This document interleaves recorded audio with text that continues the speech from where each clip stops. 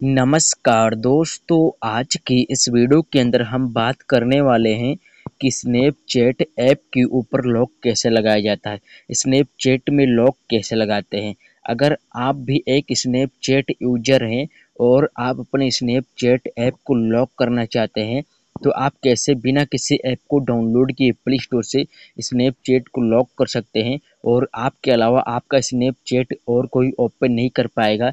देख सकते हैं कि दोस्तों, यहाँ पर मैं अपने स्नैपचैट के ऊपर लॉक लगा सक, लगा रखा हूँ। तो कैसे आप अपने स्नैपचैट के ऊपर लॉक लगा सकते हैं? तो दोस्तों, मैं बिना किसी ऐप को डाउनलोड किए प्ले स्टोर से स्नैपचैट ऐप के ऊपर लॉक लगा रखा हूँ। जैसे मैं यहाँ पे पासवर्ड डालता हूँ, हमारा स्नैपचैट तुरंत ओपन हो जाता है। तो अगर आप भी कुछ इस प्रकार से अपने स्नैपचैट ऐप को लॉक करना चाहते हैं तो वीडियो में बने रहो और वीडियो को एंड तक ज़रूर देखना। वीडियो बहुत ही ज़्यादा यूजफुल होने वाला है। तो चलिए दोस्तों, वीडियो को स्टार्ट करते हैं। और वीडियो को स्टार्ट करने से पहले अगर आप हमारे यूट्यूब चैनल पर नए हो तो चैनल को एक बार ज़रूर सब्सक्राइब कर देना और बेलाइकन को प्रेस कर देना। अब दोस्तों स्नैपचैट ऐप के ऊपर लॉक लगाने के लिए सबसे पहले आपको अपने मोबाइल की जो सेटिंग है, इसको ओपन कर लेना है। ओपन हो जाने के बाद स्क्रॉल करके नीचे आना है और यहाँ पे आपको प्राइवेसी वाले ऑप्शन पे क्लिक कर देना है। दोबारा एक नया पेज ओपन होगा, दोबारा आपको स्क्रॉल करके नीचे आना है और यहाँ पे आपको ऐप इनक्रिप्शन पे क्लिक करना है। फिर यहाँ से आपको अपना पासवर्ड फिल करके ओपन कर देना है।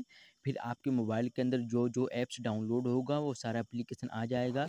अब स्क्रॉल करके नीचे आना है और नीचे आने के बाद अपने स्नैपचैट ऐप को देखना है। यहाँ पे स्नैपचैट ऐप के सामने एक सेटिंग है, जैसे आप इसको इनेबल करोगी, आपका स्नैपचैट आपकी फ़ोन की सेटिंग से लॉक हो जाएगा। मैं यहाँ से इसको सेटिंग को इनेबल कर देता हूँ। अब यहाँ से दोस्तों मैं बैक आ जाता हूँ।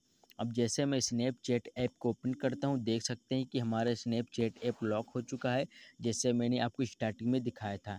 तो दोस्तों, आप कुछ इस प्रकार से अपने स्नैपचैट ऐप को लॉक कर सकते हैं और आपको प्ले स्टोर से कोई थर्ड पार्टी ऐप डाउनलोड करने की ज़रूरत नहीं पड़ेगी। तो आपको ये वीडियो समझ में आ गया होगा। तो वीडियो को लाइक कर देना, चैनल पर नए हो तो चैनल को एक बार ज़रूर सब्सक्राइब कर देना। जब तक के लिए नई वीडियो में फिर से मिलते हैं।